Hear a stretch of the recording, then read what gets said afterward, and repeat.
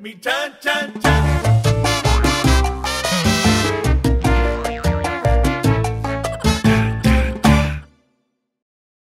În caz că v-ați întrebat cât costă un vaccin anti-COVID-19, am făcut rost de lista de prețuri pe care guvernele lumii le plătesc pentru a ne scăpa de virus. Diferențele sunt uriașe și au apărut în spațiul public, nu dintr-o dorință de transparență, ci ca o gafă a unui demnitar belgian. Așa s-a aflat că cel mai scump ser este fabricat de Moderna. Detalii după știri. Poliția măștii. În Franța a fost autorizată detectarea automată a celor care nu poartă măști în mijloacele de transport în comun. Inițiativa este extrem de controversată, iar parizienii spun că este un atac la viața privată.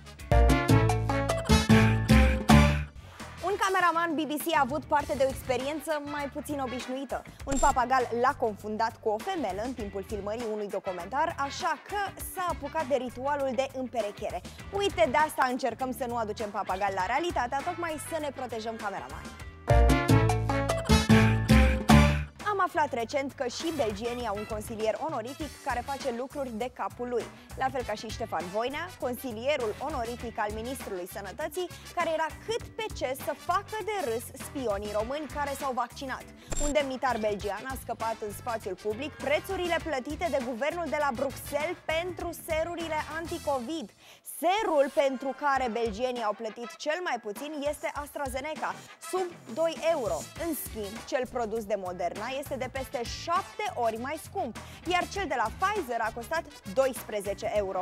E oarecum de înțeles de ce vaccinurile Moderna și Pfizer sunt mai scumpe, nu doar pentru că s-au folosit tehnologii noi pentru crearea lor, cum ar fi ARN mesager, dar și pentru că au nevoie de condiții de depozitare mult mai complicate, temperaturi de stocare, transport și altele care implică o logistică mult mai serioasă.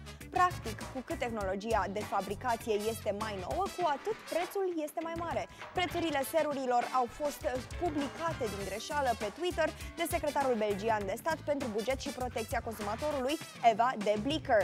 Postarea a fost ștarsă la scurt timp, însă jurnaliștii au avut timp să salveze un print screen.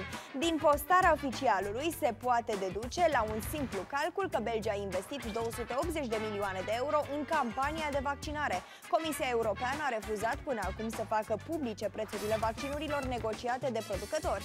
Cum acestea sunt confidențiale, este greu să aflăm astfel cât plătește România pentru a-și salva populația de la formele grave ale virusului.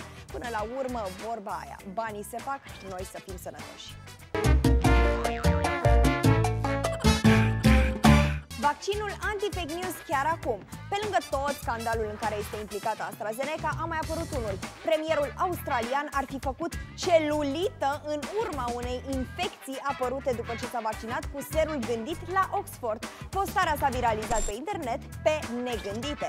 În realitate, premierul a fost la spital la o zi după vaccinare cu o infecție suspectă. Doctorii au spus însă că celulita lui nu are nicio legătură cu ce a apărut pe picior. Realitatea uneori ne amuză, altor ne enervează. Noi o tratăm de fiecare dată cu puțin haz de recaz. Dacă așa vă place și vouă, ne dați un like și un subscribe ca să fiți la curent și cu viitoarele rubrici Ceacealitics. O zi frumoasă să aveți! Mi chan chan chan.